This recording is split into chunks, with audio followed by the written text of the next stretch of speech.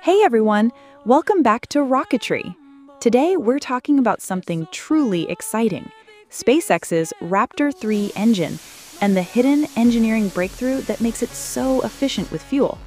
This isn't just a small upgrade, it's a change that could decide how we reach Mars one day. Now, why does fuel efficiency even matter in rockets?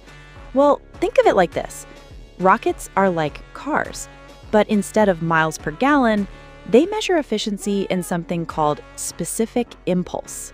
The higher it is, the farther the rocket can travel or the more cargo it can carry without needing extra fuel.